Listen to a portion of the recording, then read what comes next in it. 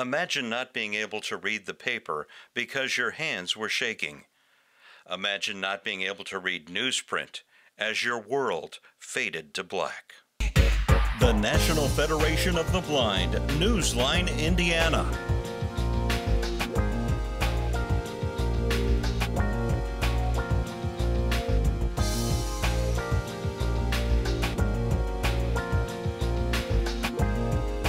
with your host, Lee Martin, and co host, Florence Myers.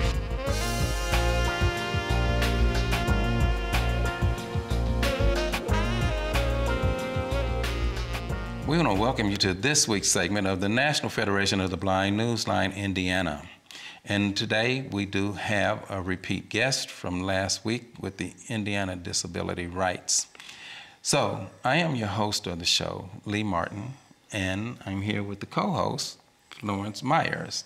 Florence, last week's segment was very interesting. Very interesting. And to know that we have the individuals here that I just call them the movers and the shakers uh, with Indiana disability rights on so many of the uh, issues that we have as uh, disabled citizens. Um, I think our voting audience uh, and those that are print challenged and disabled uh, have learned a lot, and we're going to continue to learn a lot uh, from this week's segment. But first, we want to let you know that the National Federation of the Blind has a very important service, and that service is with the National Federation of the Blind Newsline. And many of you have been following us for a number of years with the service. We trust that the service is providing you with the um, the tools that you need to get the information. And this week uh, and this month, we're focusing in on voting, and we want you to make sure that you go to the NFB Newsline or go to whatever publications to get your information so that you can be an informed voter. Um, we know through this service that informed citizens make informed decisions, and that's what we're here for, to make sure that you make those informed decisions to promote your life. So we're going to take a pause and we're going to come back with our guest from Indiana Disability Rights. Stay tuned.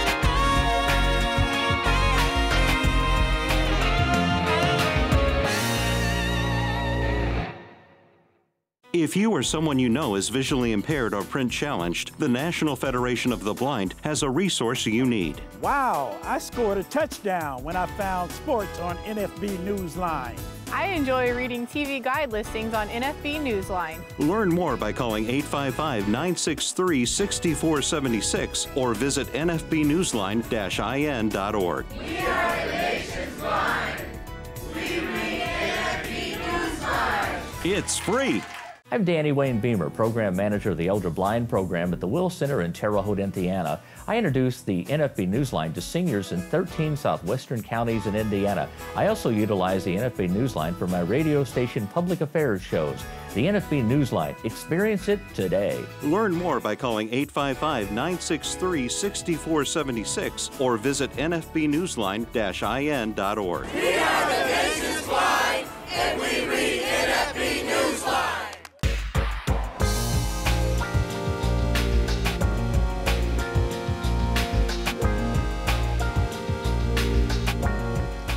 Welcome back to this segment of the National Federation of the Blind Newsline Indiana.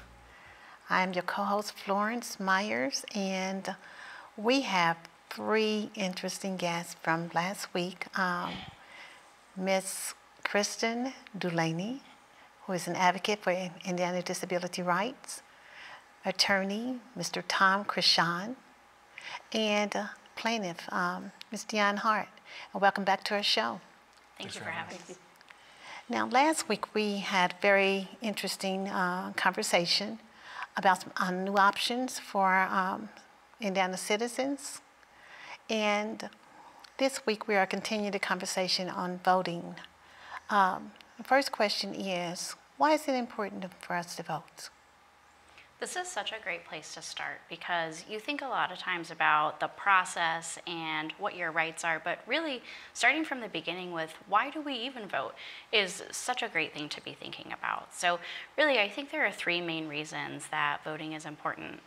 The first one is that it really supports the history of America being a democracy and folks that have fought hard, like these folks right here, who have to get the voting rights uh, out for everyone. So you have like women who couldn't vote until 1920. You have former slaves who got the right to vote. Folks who uh, advocated to lower the minimum age to 18 when you vote, you are honoring the history of people who fought so hard to get those rights and also ensuring that that right stays for the future because you're voting for folks who represent your issues and will be in office to help with that. Secondly, voting is important because it really is the great equalizer.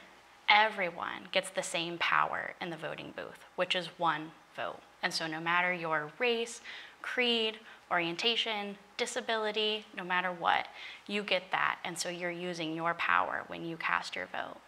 And then finally, voting makes a big difference in your day to day life because you're voting for the people and the issues that you care about most. And so ultimately, people think about big national offices like the president or state offices like the governor, but even your um, more local offices like a school board or a city council or township, three votes can really be the difference between someone staying on that and a new person coming in. So your interests are represented at all levels of government. So being a participant in local elections and major elections makes a big difference in your day-to-day living. So voting really is important to your whole life and what services are available to you. So we really encourage everyone to get out and make their voice heard. Now, Kristen, what do you need to do before you vote?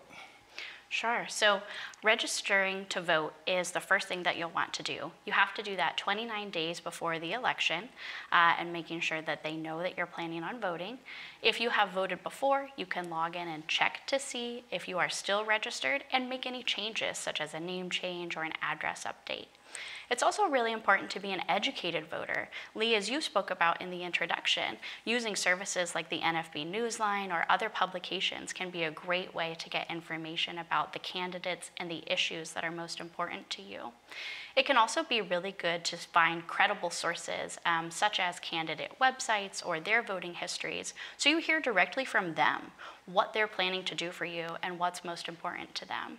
But ultimately, everyone should take the time to be reflective and think about what they prioritize. For some people, it's employment. For some people, it's transportation, schools, services, waivers. There are so many issues out there that impact the community. And what is a priority for one person may not be for someone else. So as you think about what's most important to you, you can find the sources that are going to give you information about how candidates and issues will impact that. And that can really lead you to be an informed citizen who, as you said, makes informed choices.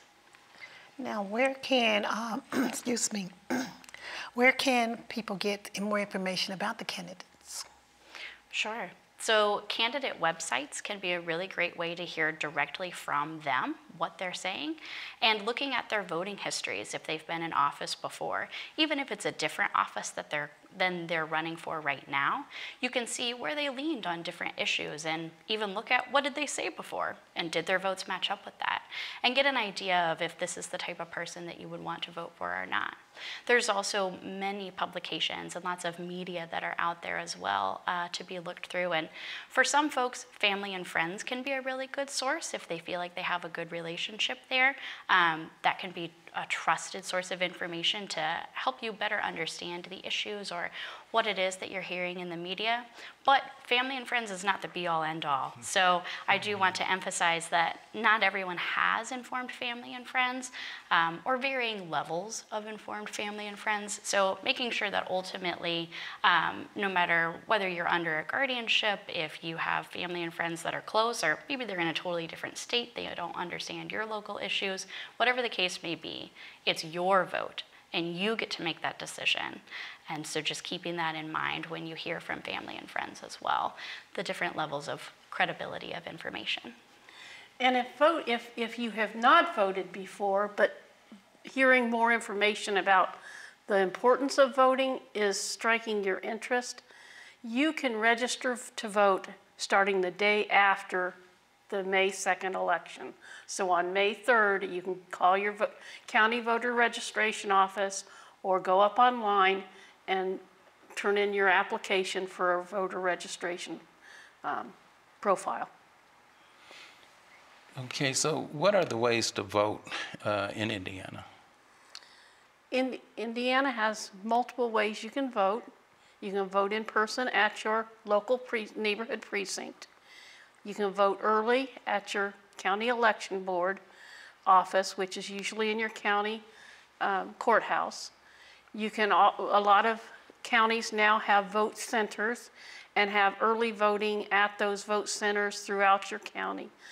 Um, and that, and they usually start the second Saturday before election day. Um, some start as early as 29 days before election day. You can also use the traveling board if you're confined to home or a nursing home or a hospital and cannot get out to vote. And you can do that even up until 6 o'clock on election day. Um, you, again, call your county election office and they will send the um, traveling board out to your home. Um, and so those are the, some of the options. Okay, now if I go to the polls, what should I bring with me? It's important to make sure that you are bringing a valid photo ID. The Secretary of State's website has a comprehensive list, but really the basics are that it should be issued by the state of Indiana or the federal government. It should have your name and your photo on it, and it should be current or not have expired since the most recent election. So for example, the May 2nd primary that's coming up very soon, um, if it expired after the November 8th election in 2022, you could still use that. But if it expired before then, you wouldn't be able to bring it. Okay. You can also bring any notes that you need. Uh, as we talked about before, being an informed voter is very important. And so if you need things to help you remember uh, how you wanted to cast that ballot, you could bring that in, as long as it's not a political endorsement. So some of those flyers that parties will send out, uh, those wouldn't be allowed, but your personal notes would absolutely be okay to bring in. Okay. Okay, now what, just what are our rights as um, persons with disabilities um, uh, when it comes to voting?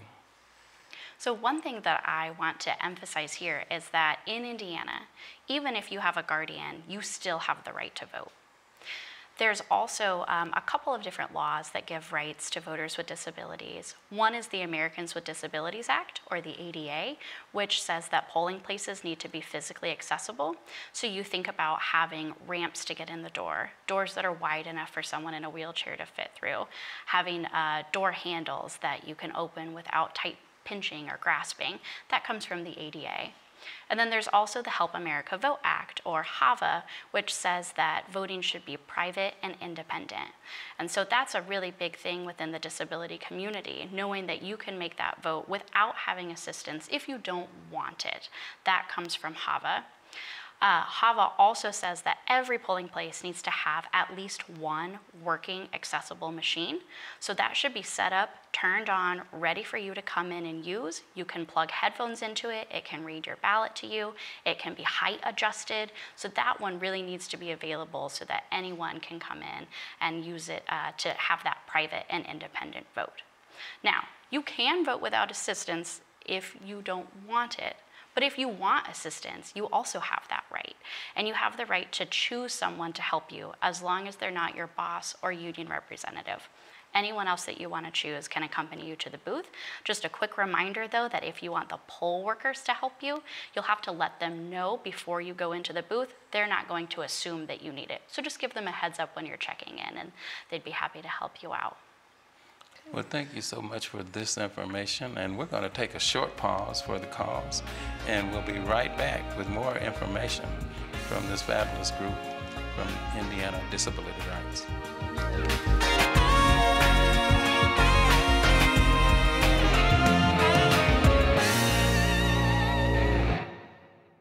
If you or someone you know is visually impaired or print challenged, the National Federation of the Blind has a resource you need. I use NFB Newsline when reading Hammond Northwest Times. Using NFB Newsline, I read the Christian Science magazine. Dad, you read your Jerusalem Post too. Learn more by calling 855 963 6476 or visit nfbnewsline-in.org. Live the life you want. Read NFB Newsline. It's free. I just graduated college as a blind student. How can I independently find job listings? Thanks to the National Federation of the Blind, visually impaired Hoosiers can hear newspapers, circulars, and magazines from across the globe. It is a fantastic service. Learn more by calling 855 963 6476 or visit nfbnewsline-in.org. We are the nation's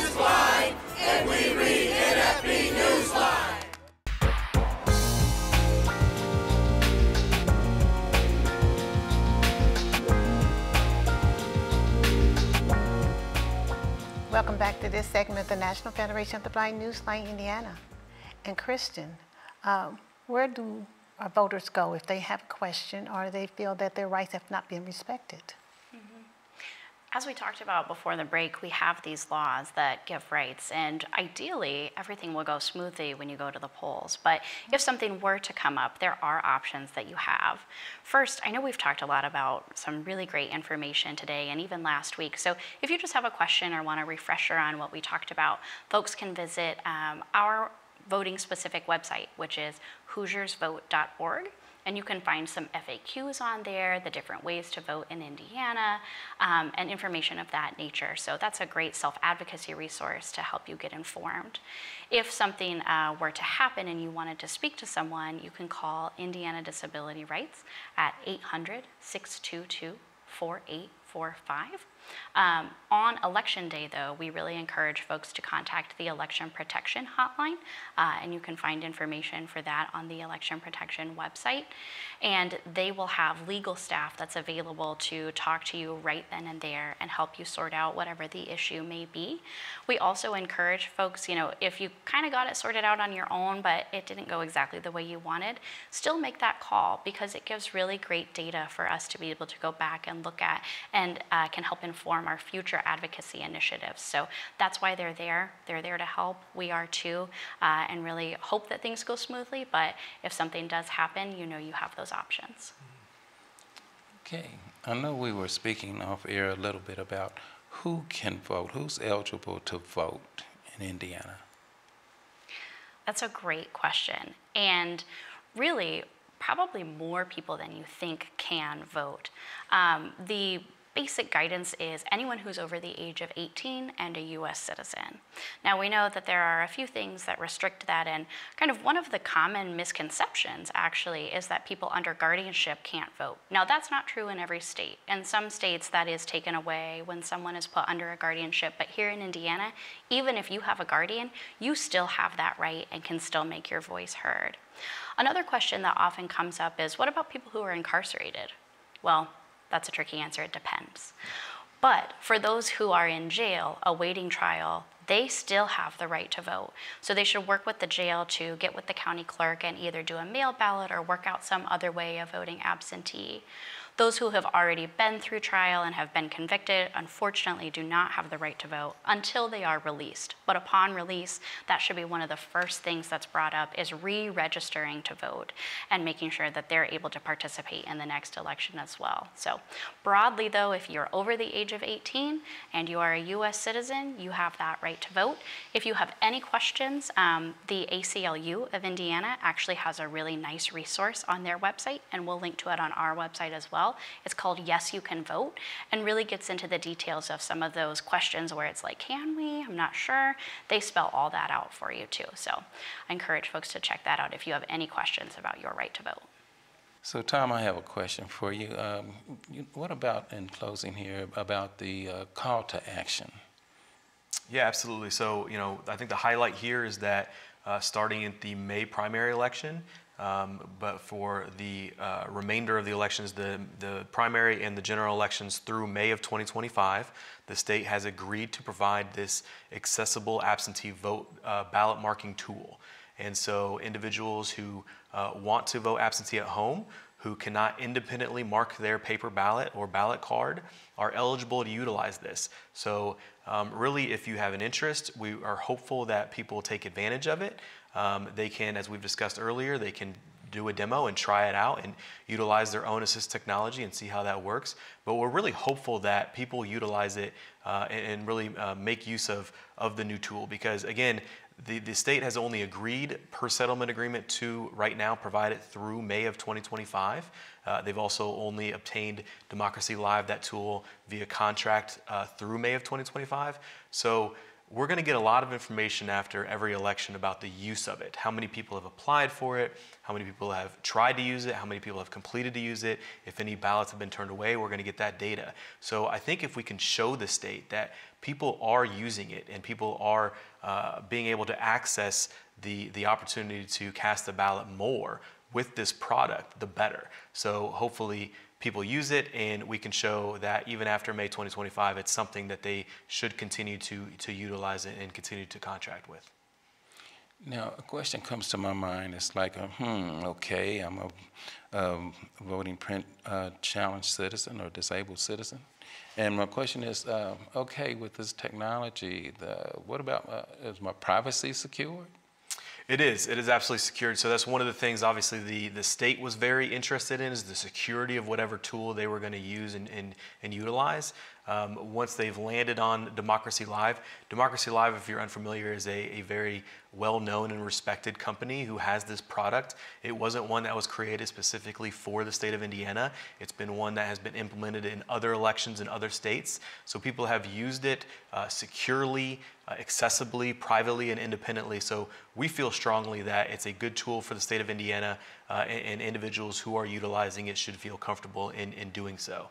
Um, one of the things I want to stress as well is that there is a state law where uh, any voting tool uh, or, or way to actually cast a ballot cannot be hooked up to the internet. So while you receive the ballot uh, via the internet, you complete it and then you actually um, send it back via email. So individuals just use and cast it as uh, via email like um, they would send any, any other secure email. So uh, it is secure. People should feel comfortable uh, in using it. Okay. Now my other question too. Um, is for those that are thinking, well, uh, how would assign my ballot? Um, how is that actually done? I know it's uh, shown throughout the demo, but uh, could you uh, expound on that a bit? Yeah, I, it, it's definitely incorporated into the product. Uh, that is once one item that we kind of went back and forth with in the state during litigation is um, the security waiver aspect and them wanting a, a physical wet signature. Uh, that has, they've agreed to incorporate that within the Democracy Live product. I think Deanne can probably speak to that a little more um, given that she's kind of went through the demo uh, as anyone else can in advance of the election uh, and kind of talk about how that works. Uh, it, it basically, you're providing an electronic signature, um, and that, and it is your your your name is written in as if you typed it in, and that, and um, and so you're not having to print it out to sign it and then having to scan it back in. You're able to just fill it in, fill it all out online with that, and then attach it to an email and send it back in. Okay, now would that email be the confirmation that my vote has been counted?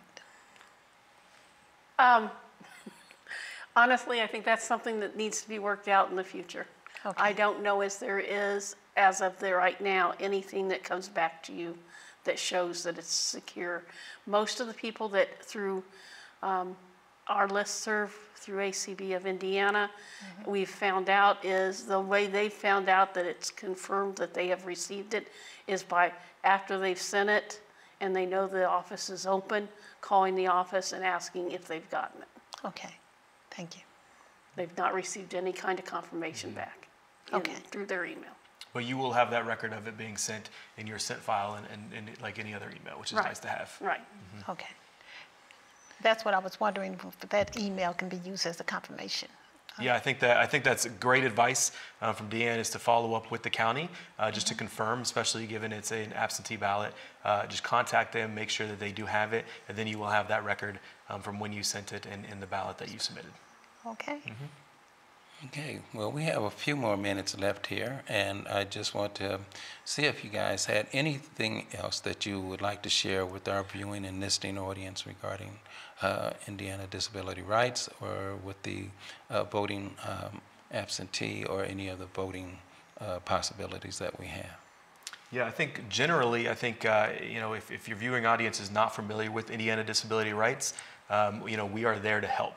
Um, so as I mentioned previously in the previous segment, um, you know, we are there to provide no-cost legal representation in disability rights related matters. So um, it's extraordinarily broad, um, from special education advocacy to employment to fair housing, um, guardianship defense, um, abuse, neglect, really if there's in any situation that an individual with a disability is encountering uh, that's a disability rights related issue, uh, individuals should feel comfortable to contact us, uh, utilize our intake. If it's something that we can't provide help on. We do um, help, uh, we, we, try to provide whatever referrals we can, uh, but we do take a lot of these cases both on kind of a systemic advocacy aspect like this case, but also on an individual uh, advocacy standpoint. So, um, you know, I, I, would encourage all individuals if they have um, some sort of barrier or discrimination if they've encountered to feel free to contact us and, and we, will, we will hopefully be there to help um, from a general aspect. I don't know if you have anything else from a voting aspect. Mm -hmm. Sure. So, um, as they've just been talking about, there is that new option for folks who are blind or have a print disability. And really, we are encouraging everyone who's eligible to be able to use that tool to take advantage of that. Because as Tom said, that's only available right now, agreed, until May of 2025. And so being able to show that that is uh, necessary and that folks want to use it and it's working uh, will be really beneficial. And hopefully, it will help uh, folks feel like they are able to cast that ballot privately and independently differently. But the real takeaway message, though, is whether you use that new tool, you go in person on election day, you use the traveling board, vote by mail, no matter which way is most comfortable for you, do get involved. Make your voice heard. It has an impact on your day to day life. So please be an informed citizen and an engaged citizen and cast your vote in the next election. Mm-hmm. Well, listening and viewing audience, I tell you, that's a wrap. so you guys have gotten it from the Indiana Disability Rights, and I really do appreciate um, you guys coming on today. When you say Florence, this has been an educational show. Certainly has been. So we want to thank you very much once again, and we look forward to future collaborations. And to our viewing and listening audience, thank you once again for joining us. We look forward to next week's show. So stay tuned and take care of yourselves take care of your communities, and let's all take care of one another. God bless.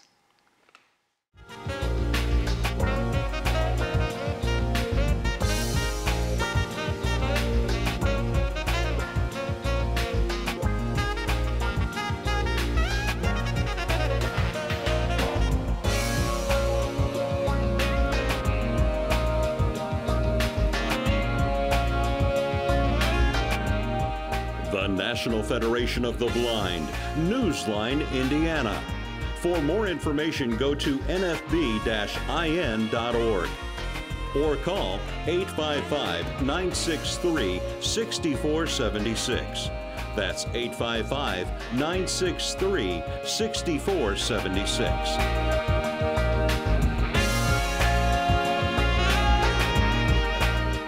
The National Federation of the Blind encourages you to live the life you want.